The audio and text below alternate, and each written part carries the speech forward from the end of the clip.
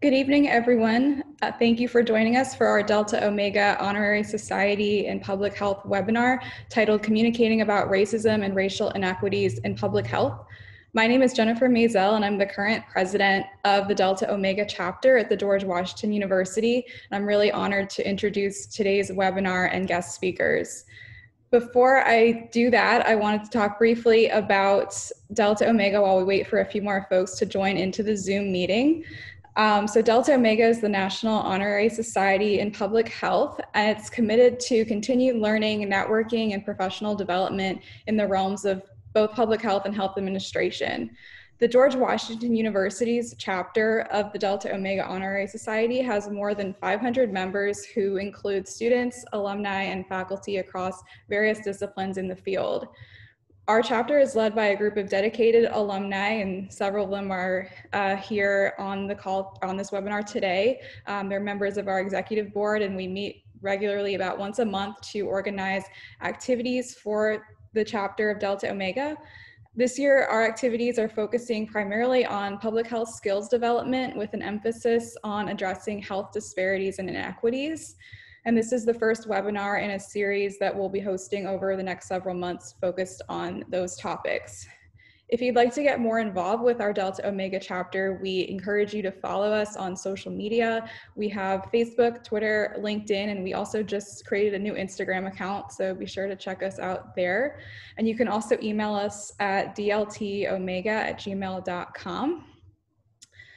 So just to kind of run through what we're going to be doing tonight on today's webinar, uh, this webinar is an hour long and you'll hear from two guest speakers, Dr. Yolanda Lewis-Ragland and Dr. Howard Straker, who I'll introduce in just a moment. Um, both presentations will be followed by a panel Q&A led by or moderated by our Delta Omega Vice President, Meghana Vijayasimha. Since we do have a large group here tonight, we have muted all attendee microphones, um, but you will be able to use the chat box on the side of the screen to ask questions and engage with the speakers during their presentations. This event will be recorded and shared on GW School of Public Health channels in the next several days, and we'll be providing closed captioning on those recordings.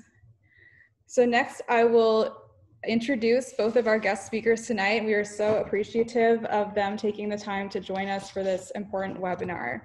So first is Dr. Yolanda Lewis-Ragland, who is a pediatrician at Children's National. She's a passionate health advocate, thought-provoking uh, lifestyle interventionist and compassionate physician who is board certified through both the American Academy of Pediatrics and American Board of Obesity Medicine. Her global health training and extensive experience in clinical service sets her apart as the subject expert on self-care strategies and obesity management in both children and adults. And Dr. Howard Straker is the Assistant Professor of Physician Assistant Studies at the George Washington University.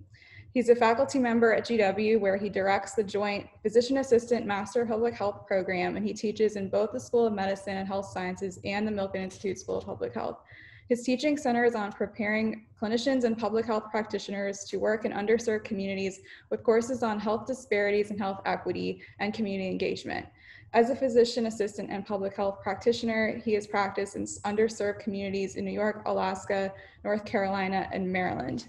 And I've had the pleasure to have taken Dr. Straker's Preventing Health Disparities course and heard a talk by Dr. Yolanda Lewis-Ragland. So um, we're so excited for them to be here tonight.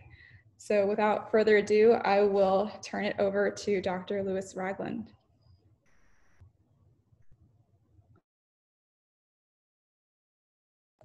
Sorry, thanks. I wanted to unmute myself. Um, so I'm going to start off and I need to share my um, screen here. Sorry about this. Um, and we're going to talk a little bit here about communicating about racism. So are you guys seeing this, everything's clear before I get started? I don't see it yet. Nope, okay. Let's see, this is why we decided to make sure we were doing this correctly. All right, how about now, share. Are we there yet? Looks good. Thanks. Okay, so we're gonna start. I'm gonna go back up to this first slide. Okay, so right, just real quick, Dr. Dr. Lewis Ragland, it looks like you're not in presentation. There it is. Okay, great. Thank yeah, you. I- I'm old and slow, so here I go, guys. All right, so um, communicating about racism and racial inequities. Um, and just a little quote here: uh, Martin Luther King who said, "All forms of any of all forms of inequality, injustice, and health is the most shocking and inhumane." So one of the reasons that we here in this uh, community really know that this is a must-have conversation. And I thank um, the George Washington University chapter of Delta Omega for welcoming me and having me talk to you all about this. So, um, what are the learning objectives? Like the major learning objectives, just to consider the association between racism and health outcomes, right? And so, some of the things we're just going to touch on is acknowledging our past and present role that the medical community has played in promoting perpetualizing um, racism, determine how the, the local social, economic, educational divide can create has created poor health outcomes. And then say local, I mean here in the DC area and then embrace the challenge to recognize personal perceptions and maybe even reorganize cultural structures of our own. So, um, racism and healthcare inequities and poor outcomes are sort of intricately involved in um, one of the things that we have to recognize, acknowledge, and understand is that the medical community has sort of been in the middle of this um, intricacy. And so we sort of have to take ownership and figure out what to do about it. Our complicated history um, that is real quick, and this is national. It's not us necessarily us personally, but nationally, that slavery and post-slavery practices created some dangerous conditions and um, physical and mental torture, so physical and mental health um, issues there. And then from 1619 to the present, um, Black Americans have experienced racially motivated violence, economic exploitation, disenfranchisement, exposure to environmental harm, decreased access to healthcare and therefore poor health outcomes. Um, the problem is our government was more than complicit. Um, it actually benefited um, and sort of even um, profited.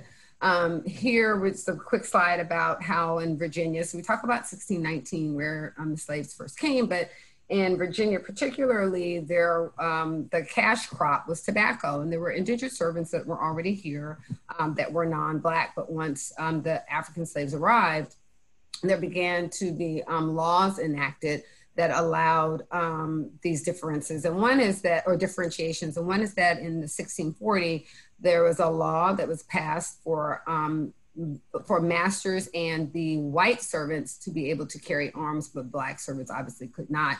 Um, and that sort of further marginalized them. And then um, a couple years later, that black women were taxable. Um, and so there was a difference now between the black women who were slaves and the white indentured servants. This is just a quick deed of um, a state sale that showed that, you know, even one of our founding fathers, Thomas uh, Jefferson, had slaves that were being sold. And then this is, uh, interestingly, a, a, message that was posted in Boston um, and basically showing that in, in the northern areas, um, that people who were freed blacks were actually um, had to be in fear of being um, kidnapped and put into bondage in the South um, and even the um, police, as you see, it says both watchmen and police officers of Boston were responsible for some of these acts. So there's a real fear, and there was a, a, conscious fear of sort of law enforcement and law. But that was like legal, um, you know, representation and what how the law may have um, contributed. But what was the medical role um, in this racism um, that we were perpetuating in America? one of the problems is most of us are in this profession recognize at least in the modern age that you know we have an obligation to first do no harm but the question is to whom um, so there's a couple of people that you know just kind of know about dr benjamin uh, rush dr thomas hamilton uh, dr marion sims and dr crawford long as well as just some of the early um, practices of some of the medical schools and scientists in uh, public health service so Dr. Benjamin Rush was a signer of the Declaration of Independence. He was credited as being the father of American psychiatry. He was a good friend of uh, Benjamin Franklin and um, Alexander Hamilton, um, and he was a prominent physician at the time. Dr. Uh, Thomas Hamilton, he conducted medical experiments uh, to prove biological differences between races and most of you may know Marion Sim, uh, Sims as being credited as the father of gynecology. Uh, and I'm not sure if you know, but there's also uh, Crawford Long, who was credited with discovering anesthesia. Well, Benjamin Rush is, um, he was a medical professor and one of the things that he was known for is at the University of Pennsylvania, he sort of introduced the idea into the curriculum uh, that there were these racial differences uh, between white and black. And he taught specifically that blackness was a form of leprosy. Um, and sort of he promised this sort of national future free of black Americans and that the country's destiny would be white. And what's more most important about this is that because he was an educator, um, it was kind of clear in the beginning that white physicians sort of uh, positioned themselves as expert on racial differences that were based on this fallacy of biology. Um, the thing about him was in 1793, he was very instrumental in the um, yellow fever epidemic in Philadelphia that lasted until about um, November, from the summer to November. But what was interesting at that time is he enlisted the free African Americans in um, Philadelphia to sort of um, take care of those victims of yellow fever. Um, he sort of made them essential labor during the epidemic. And one of the reasons he did this is because he um, believed that African Americans were immune to the fever.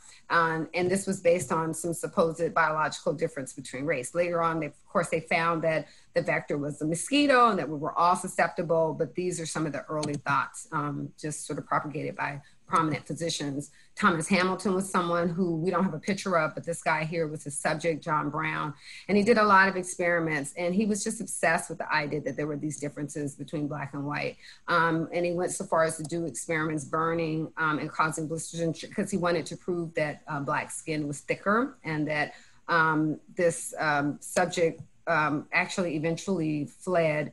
Um, he escaped and he wrote a book, uh, autobiography about just sort of the torture that he experienced. Um, but this was someone who was lent to this to this physician um, by a local um, slave master. So many of you know that uh, Marion Sims, the father of gyneco gynecology, was a little controversial because um, although he developed these pioneering tools like the modern day speculum and some surgical techniques that are very that were very helpful, one of which um, helped cure, uh, one of the techniques he helped cure was uh, uh, vesicovaginal fistulas um, in women who had um, difficult childbirth. Um, the problem was he did a lot of his uh, experiments on some of the slaves, three particular slaves that he owned, up to 30 um, operations on one. And he did this without anesthesia and without consent. Therefore, it raised questions of the ethical you know, implications of his procedures. Um, and the other thing to know about him is before these gyne- before and after these gynecological experiments, he was also testing surgical treatments using shoemaker uh, tools on enslaved black children, um, trying to find a cure for neonatal tetanus. And he did this with little to no success. Um, and then Long was someone who experimented on a couple of slave boys using ether. Um, he was trying to decide for anesthesia which you could and could do um, how much you could use, um, when you could get the pain to stop. Um, but it was very interesting that, that all of his um, sort of early successes were based on this, um, on these uh, experiments. And he eventually did a successful removal of a tumor, removal of a tumor of a white man, um, not harming his patient, but it was based on these experiments. So in terms of the medical community in general or the science community in general, there are other things that had just happened, things to know about. This is um, just a picture of uh, what we call, they called body snatchers at the time or resurrectionists. But there were medical schools, in particular, the Medical College of Georgia and the Medical College of Virginia, that would dig up uh, bodies from um, nearby grave sites. And most of these were slave grave sites and slave cemeteries um, without permission, stealing bodies for cadavers for their um, medical students because there were more students than they had. Um, then there was the um, Eugenics Society of America. They sort of pushed the idea of the fact that you could sort of um, choose and select some positive traits, which obviously meant you could deselect negative traits. And at the time, those negative traits uh, were, you know, ethnicity, um, people with low IQs, um, just various things that they thought were uh, sort of defectives. And so this is a picture of a, of a woman. They did a lot of um, sterilizations and um, based on these laws and based on the society, a lot of sterilizations in prisons. And um, interestingly, um, Hitler himself and what was going on with the camps in the Holocaust really uh, stated that they they modeled um, some of their experiments off of these eugenics laws that were created here in America. And then lastly, there was the Tuskegee study all of us know about um, and should be ashamed of because the United States Public Health Service uh, was a part of this experiment of over 600 Black men um, who for 40 years were not treated, um, were um, injected with syphilis, and we sort of just watched uh, what the sequelae were. So now we do know that the primary, secondary, and tertiary sequelae of, you know, of syphilis, what that looks like, um, but it was all because we chose to um, refrain from treating, although we had found out at this time that penicillin was the treatment, we withheld that treatment. So that's on a national level, right? So when you kind of look back and you see some of the things that we participated in, we just have to recognize and acknowledge that there's a reason um, that there might be a distrust um, and that the relationship with patient and um, physician or physician assistant or nurse or whoever is sort of um, representing the healthcare system might be um, tainted um, and that we may have to do a little bit of work in, in showing, um, showing up for our patients. But on a local level, there are also some um, determinants that developed sort of this poor South. And it's not just about the economics, but it actually created uh, determinants of health. So Ward 7, 29 neighborhoods, which is roughly 72,000 people. And most of us who live here know that it's bordered by the Anacostia River, PG County, and Ward 8. And it um, is actually a home to several civil rights, uh, I mean, a Civil War fort sites um, that are listed here. Fort DuPont was the largest city, is the largest city owned park in the district.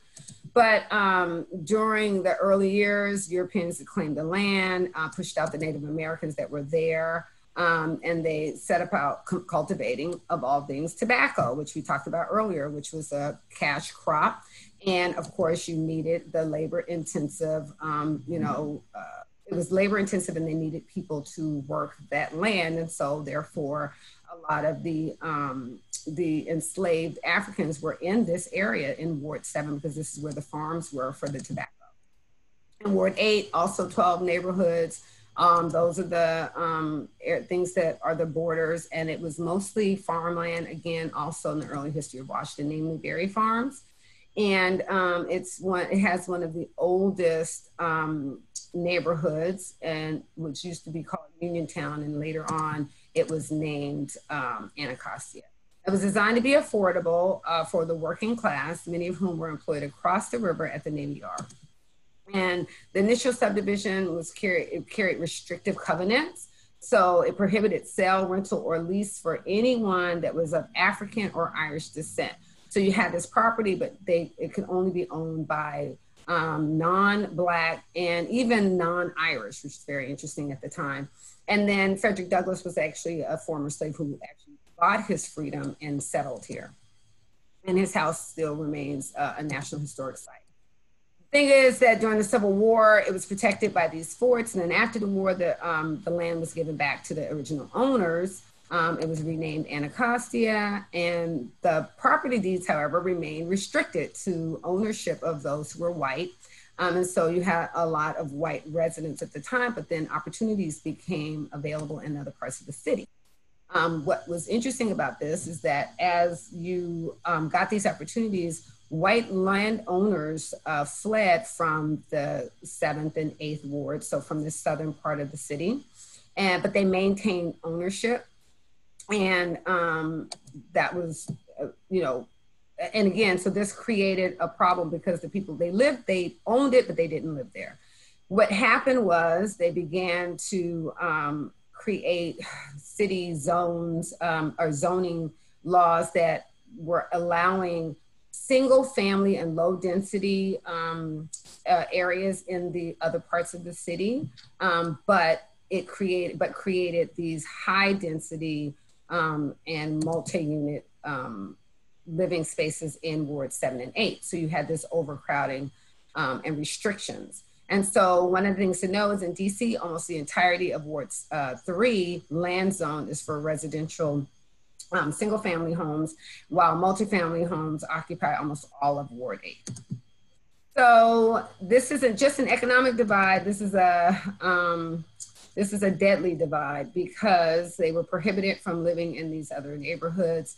Um, and public private public and private housing options were limited they became overcrowded but there was also little investment made in these areas parts of the city and so only about 12% um, of these homes um, it says here they lack running water as well as electricity there were also places where industrial sites were landfills and toxic waste sites um, were placed and so there was um, intentional um, areas where these um, where the Black Americans live, they gave an image of them as slum dwellers in the eyes of their um, white counterparts. So this wealth and poverty obviously then began to be created. It excluded anyone from having land, passing land down that was black, but of course the um, white residents were able to build equity in their homes and uh, become economically stable and send their children to college using this using this money. And then there were patterns of um, segregation and disinvestment. Um, and so all of this really um, resulted in these health disparities and poor outcomes.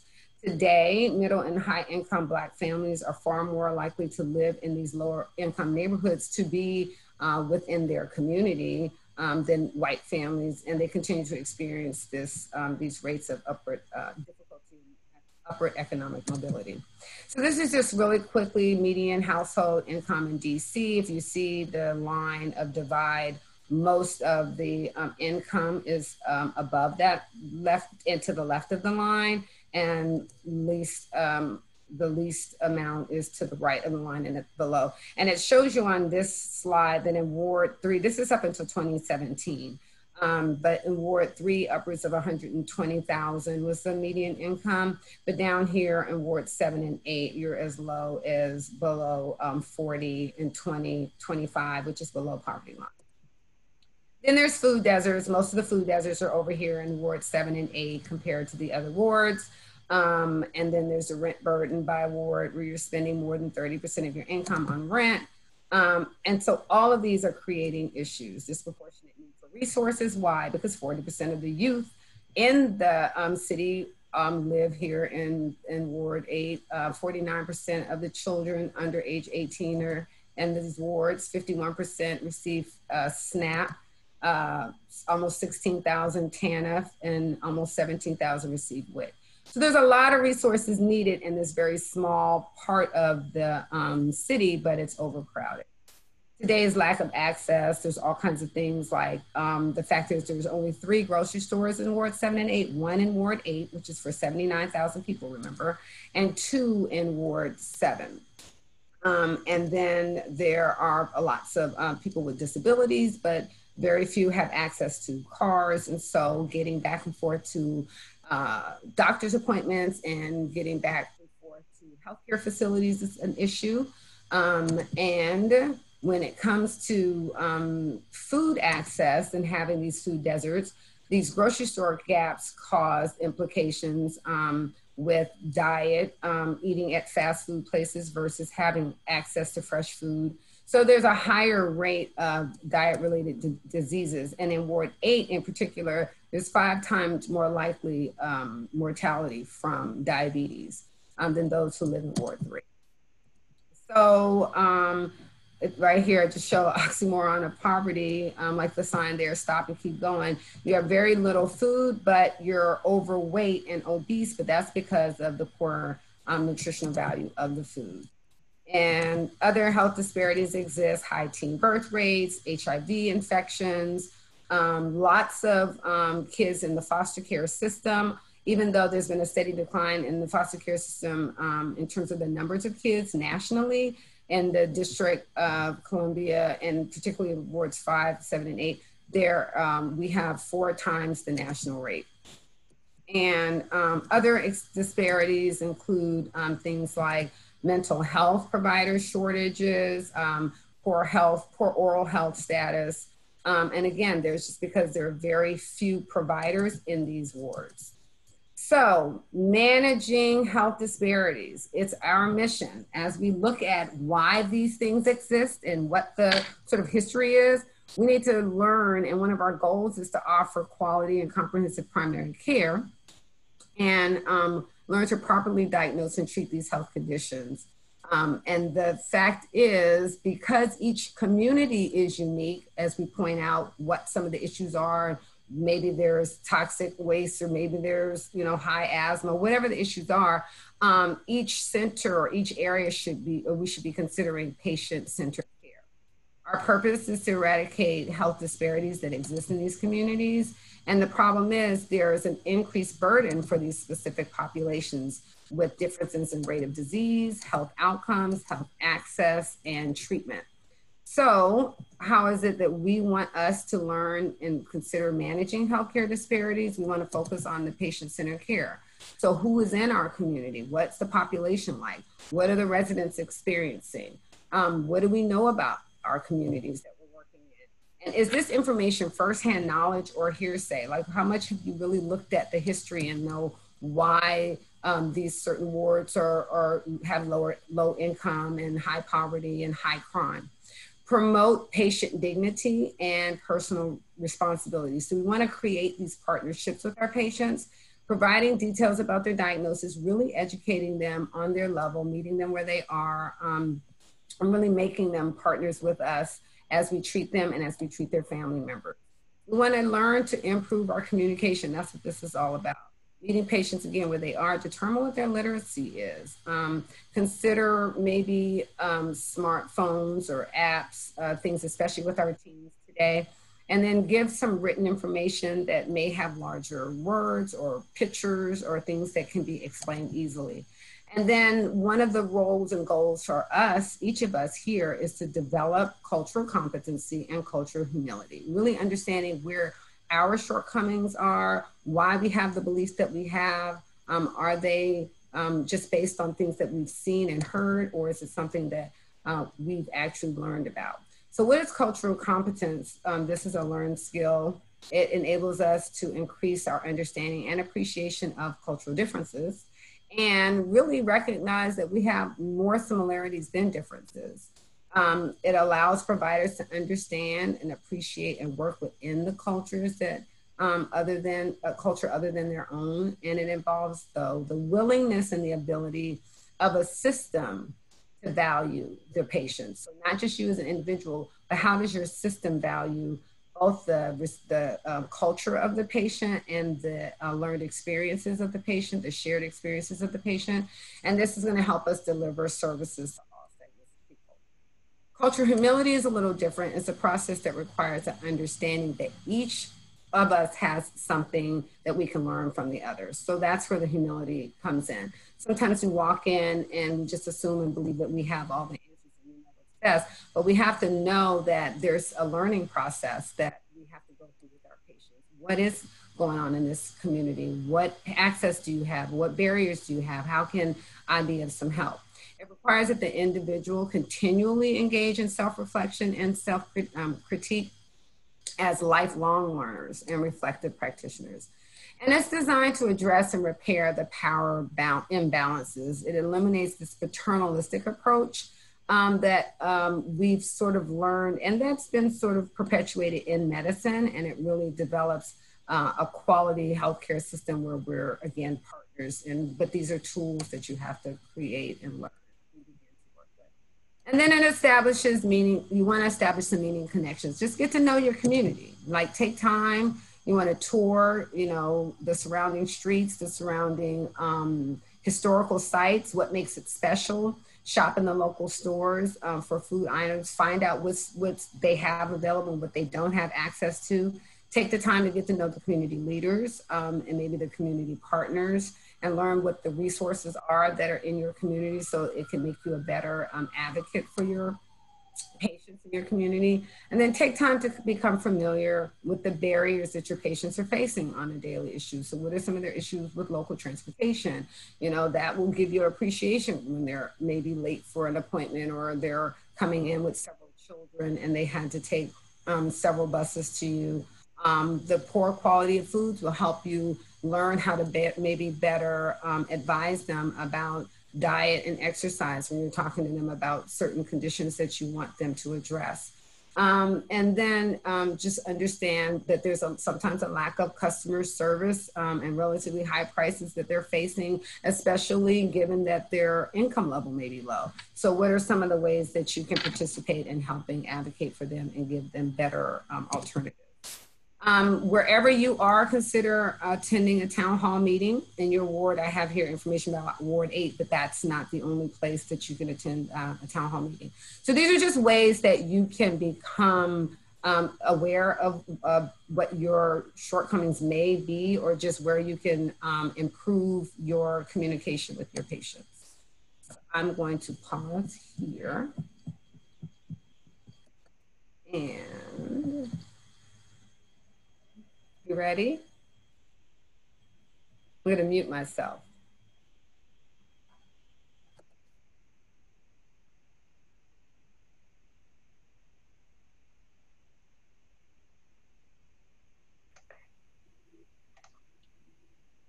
Hi. Um, I, I paused there so we can um, incorporate Dr. Straker from here. Awesome. Dr. Straker, the floor is yours. I will pull up your slides in just a second.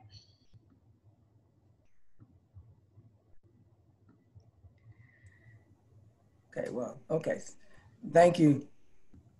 Thank you, Dr. Lewis Ragland. This is, um, so what we're gonna do for the, for the next 15 minutes is take the information that she gave us and think about how to communicate about racism to whoever. Um, let me just click that so I can get that off my screen. All right. So first of all, I want to thank the Omega chapter of Delta Omega. You can change it. Um, thank the, the chapter of Delta Omega, um, the Omega chapter, and for, for having me, for having this whole talk all together. And so, first of all, I want you to think for a second for yourself, and if you want, you can put it in the chat. But why should we communicate about racism? Okay.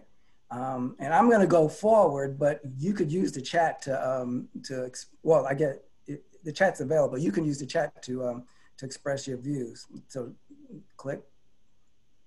So, so some reasons to do about it. Sometimes we want to communicate about racism because we're racism because we're trying to change an opinion change someone else's opinion. We might even, if we're working and, and, thinking about it from a public health standpoint, if we're working in an agency or with a group of people, we might want to change practice or a policy. And we realize that um, um, we need to talk about racism to help get to that change. Another reason is to be an ally. And to be an ally means to um, use your privilege from wherever you're at in a way that you can um, sometimes interrupt and stop uh, things that you are, see that are perpetuating or supporting racism.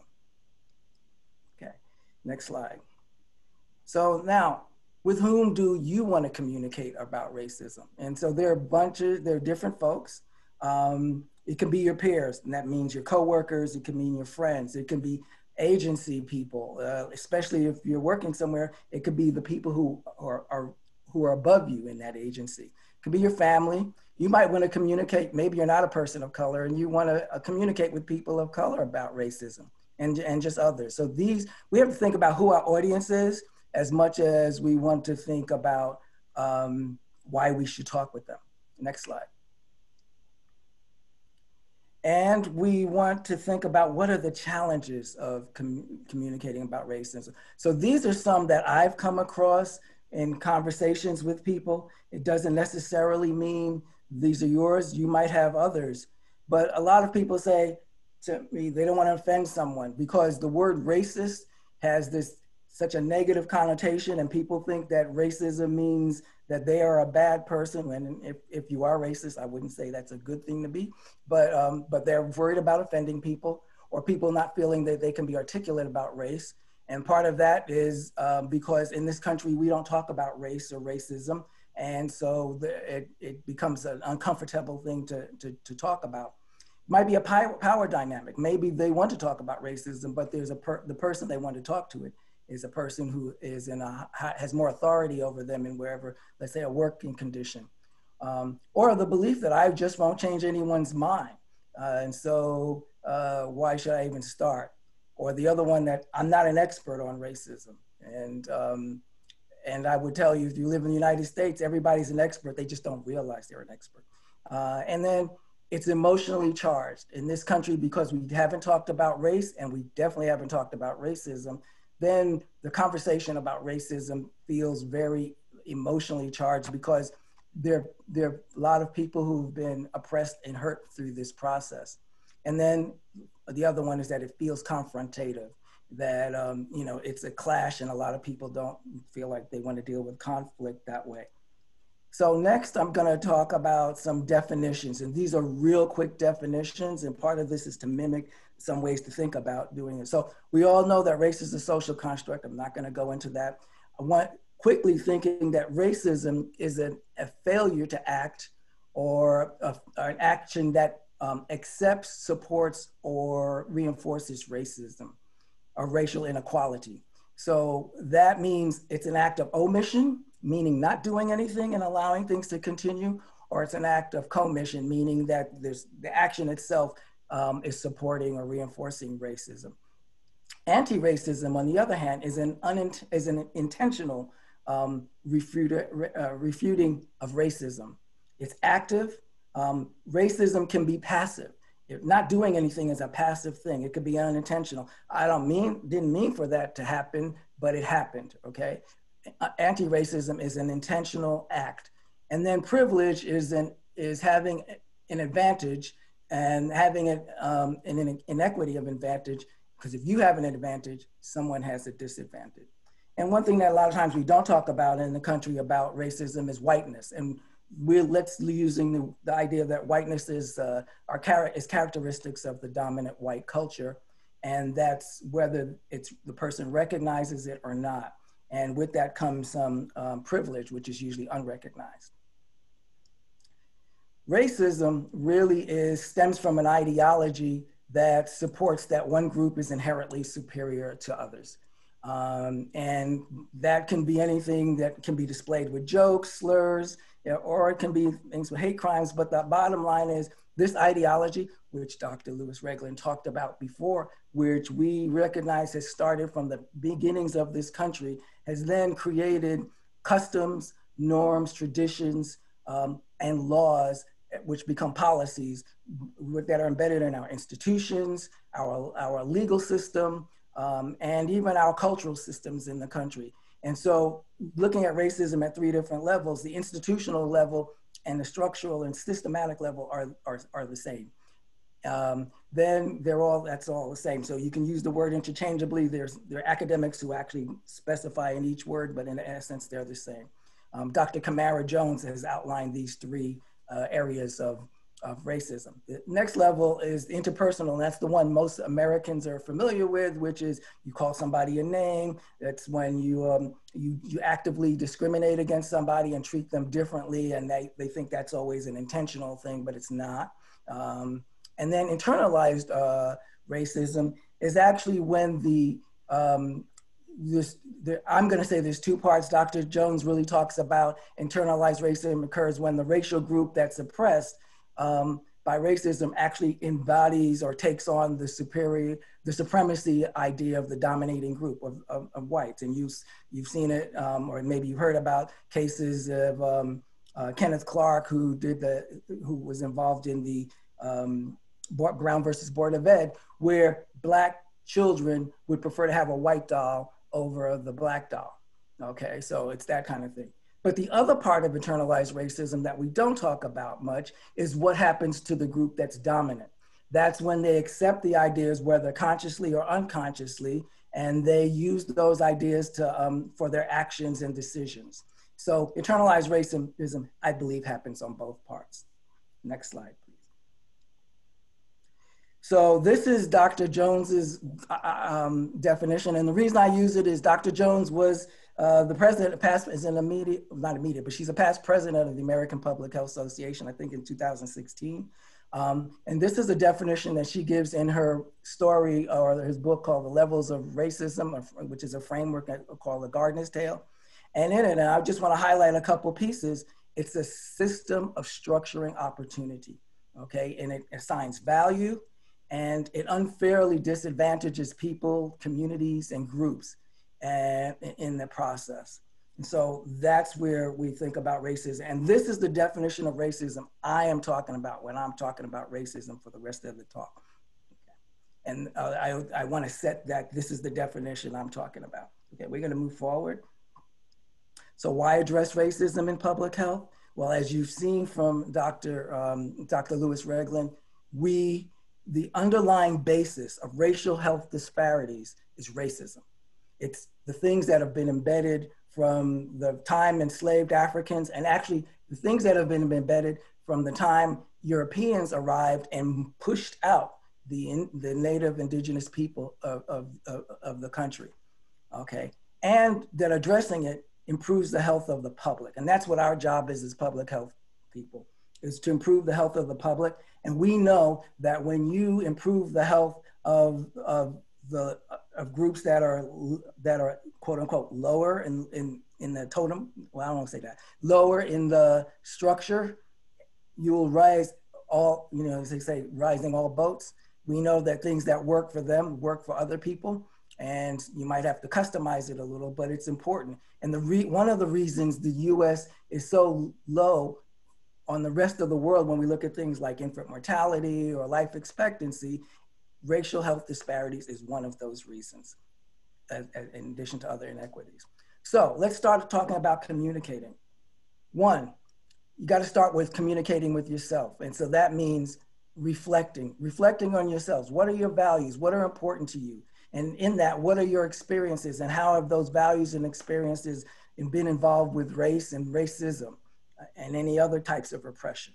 Two, you got to study. You have to learn. Many people do not know the history of the United States. Dr. Ragland, I mean, Lewis Ragland, Lewis Ragland just gave us a good um, little quick history, at least in terms of how um, American history has affected us, that it looks in terms of medicine and health.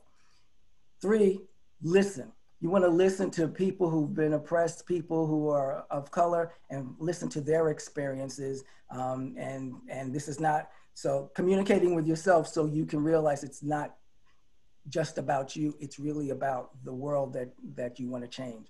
Next slide is we communicate with other people. And in order to do that, A, we have to accept that this is going to be uncomfortable.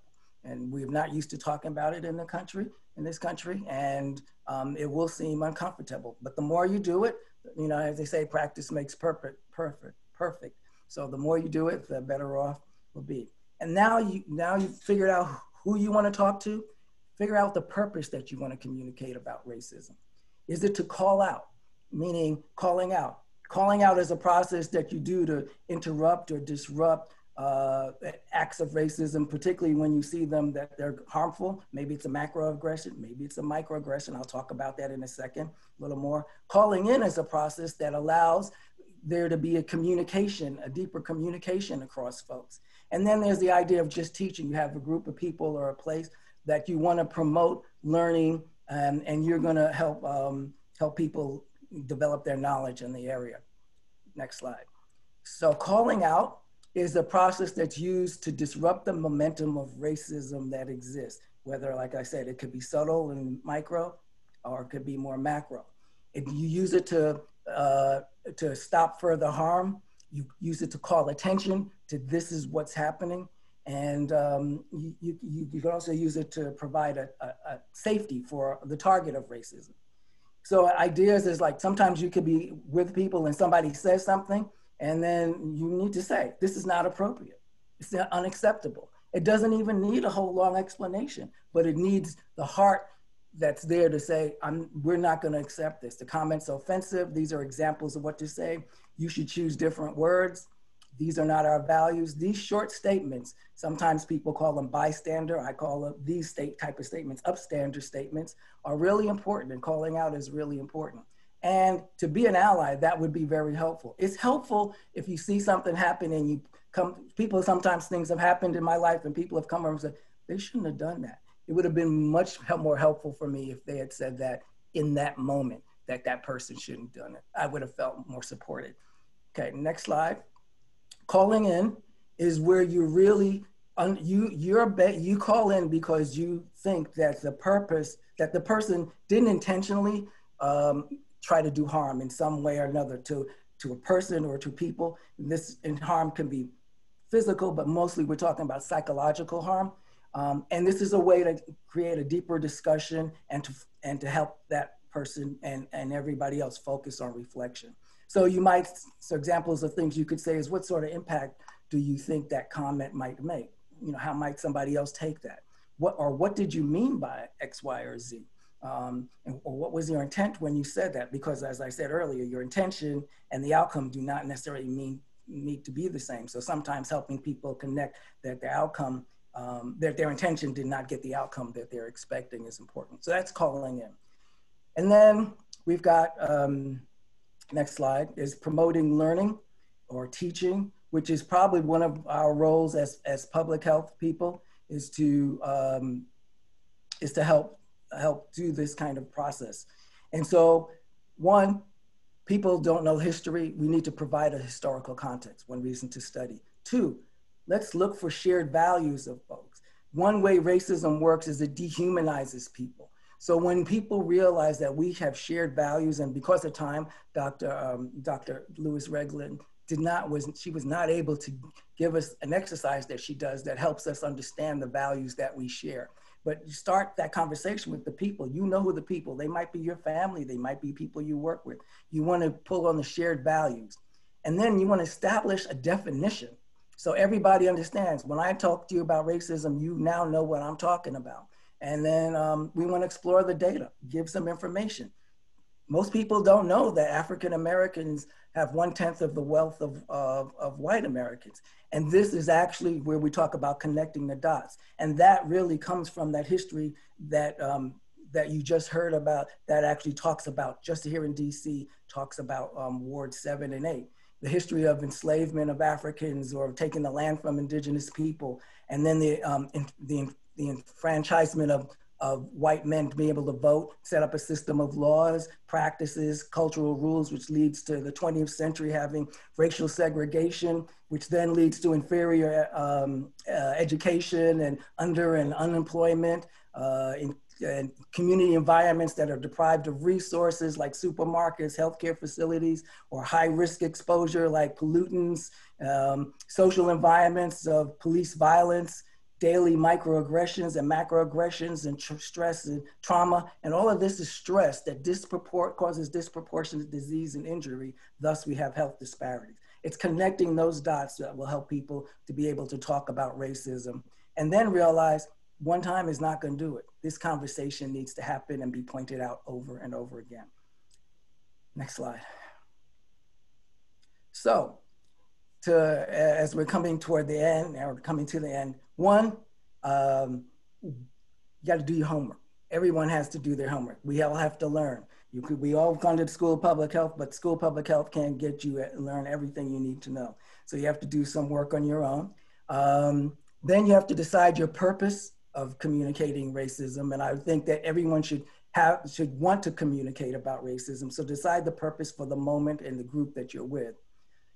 Three, you should say the word. The word racism is now part of the American lexicon because of this year when we have seen so much violence against, uh, particularly against African Americans when we think about George Floyd or Breonna Taylor or Ahmaud Arbery.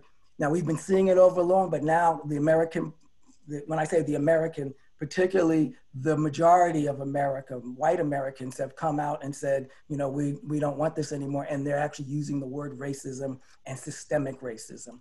And four, we have to continue the work. It's not a one time deal, it's an ongoing process. Um, it took years to, um, to embed this across the country and put this in our minds and our actions. And it's going to take work continuously to change it. So next slide, thank you. Um, I just gave some resources that you can you can use on your own as you thinking about this. I believe the slides will be made available or at least the talk will be made available online afterwards. Um, you know, the easy one that I have at the top is Georgetown has an anti-racist toolbox. It has a glossary of terms. It's got other things, things you can read, things on history, and um, the Aspen ideas to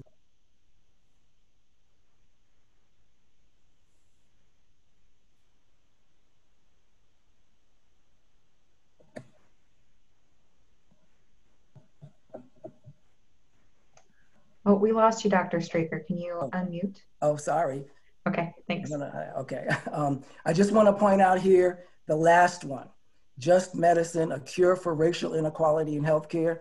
This is a, a book that is written by our new Dean of the School of Law, Dr. Dayna Bowen Matthews. It's a really good book. She connects healthcare and it- racial inequality and law. And so it's a really good book to kind of, for a public health person to read. So with that, I want to thank you.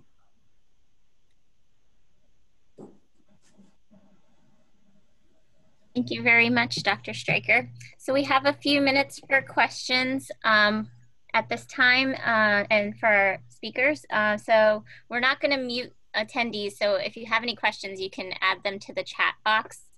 Um, so we can start with one um, for either speaker, I guess. Uh, so what types of what type of advice do you give people you meet in your practice that express to you that they're exper- they've experienced racism or racial in- inequalities that impact their health?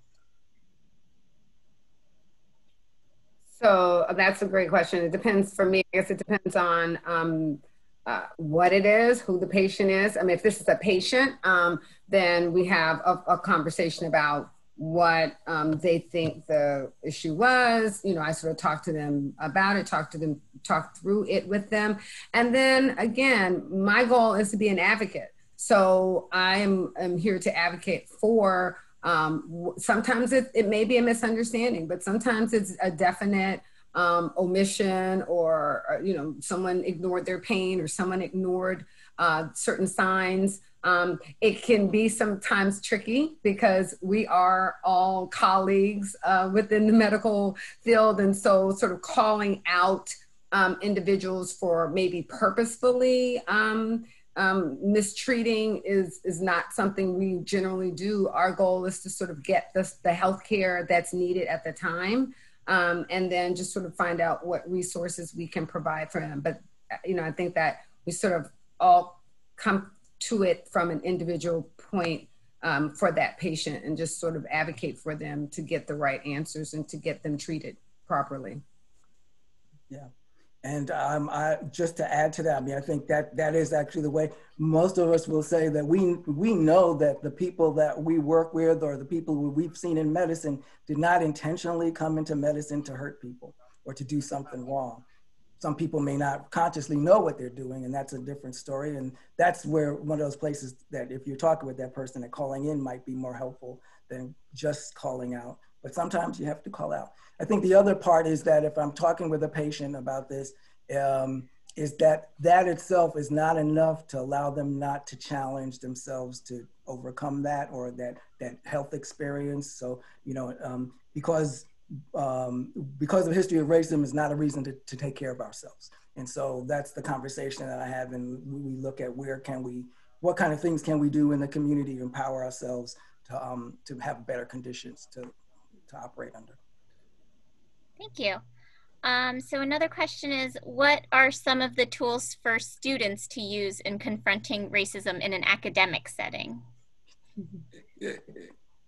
I think that Dr. Straker definitely pointed out some great ones, right? Um, the, the, toolbox that Georgetown has. Um, um, and then there, there's so much literature out there. Um, the black taxes that we want to talk about here is, you know, just because I'm an African American woman in healthcare and because, you know, Dr. Straker is African American male doesn't mean we have all of the answers. People have purposefully written down information and purposefully put tools together for um, individuals to go after purposefully on their own and it is work that needs to be done um, and I, I want to definitely caution against um, you know only relying on the relationships that you have with black people or with brown people to sort of answer um, and, and be your resource um, because it's taxing it's mm-hmm.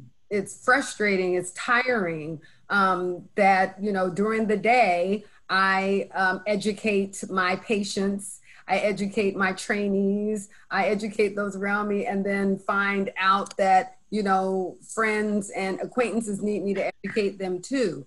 Um, but at the same time, those of us who have not been taught or trained to educate others are still finding ourselves having to educate about why the George Floyd situation was so difficult, why Breonna, you know, why these things are affecting us. So I think it's very important if you're someone who's in the, the profession of, of healthcare um, that you pick up the, some of the books and the resources that Dr. Straker pointed out, just like you pick up your anatomy and your physiology and your chemistry book, because we're undoing, we have to unlearn some of the things that have been taught to us.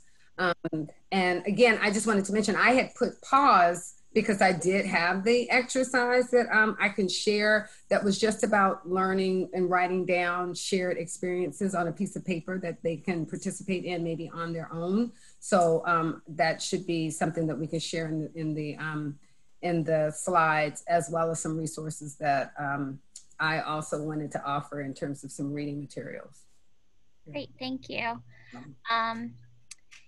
Can you share if this is for either speaker. So can you share your thoughts on provider unconscious bias and its impact on service delivery?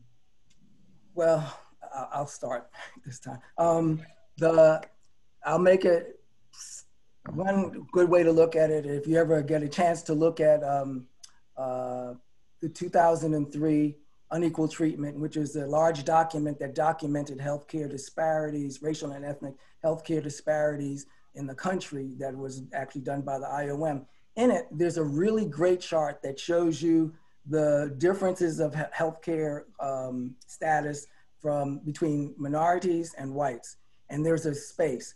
And then um, uh, that space, part of that space is really what we call disparities. And part of disparities are the big things that are legal and regulations and that. And then the other part of disparities really come from the interactions of, of, patients with clinicians and with members of the healthcare system. And so clinicians are responsible for part of healthcare disparities. And I'm talking about healthcare and not just health disparities. And so our thinking, and we all know, we're all public health people, we all know about bias and whether it's a, a type one, type A era or B, we know that bias skews the way you look at things. It skews the data you get, it skews how you interpret it.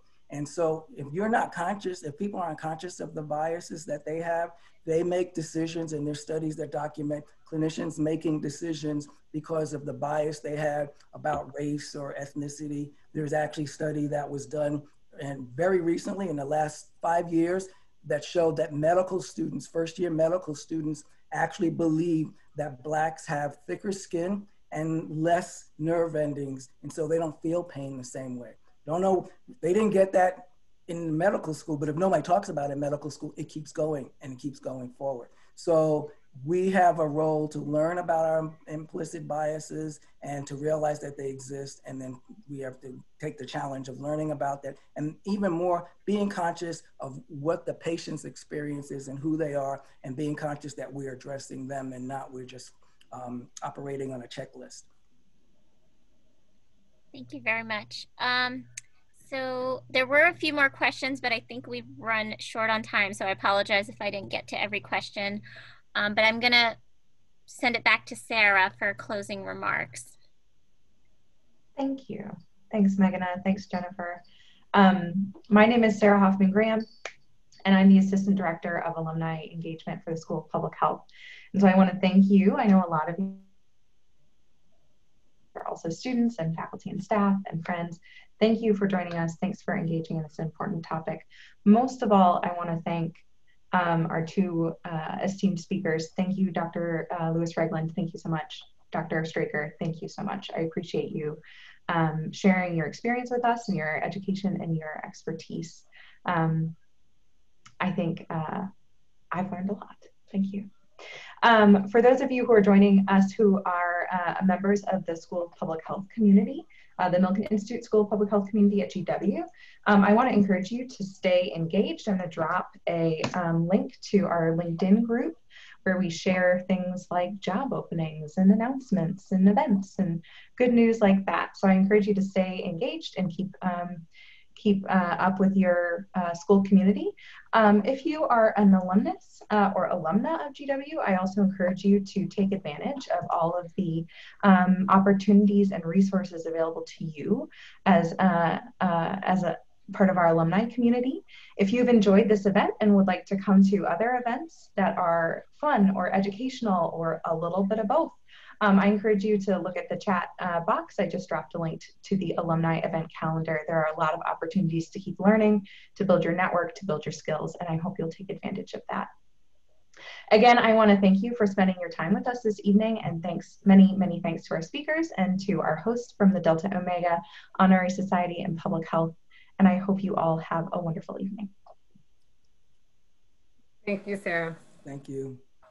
Thank you.